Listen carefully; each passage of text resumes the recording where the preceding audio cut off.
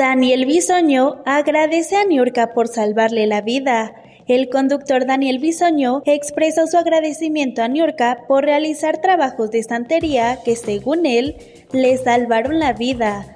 Bisoño, quien había dejado la obra Lagunilla Mi Barrio, en febrero tras una infección pulmonar, retomó su lugar en abril y aclaró que su afección derivó de una cirugía en 2023 agravándose hasta ponerlo en coma. En Ventaneando, Bisoño contó que su hermano pidió ayuda a Niurka, quien trabajó incansablemente en su sanación. Aunque Bisoño no cree en la santería, agradece a Niurka de todo corazón. Además, el conductor mencionó que espera un trasplante de hígado, aunque por ahora no es una urgencia vital.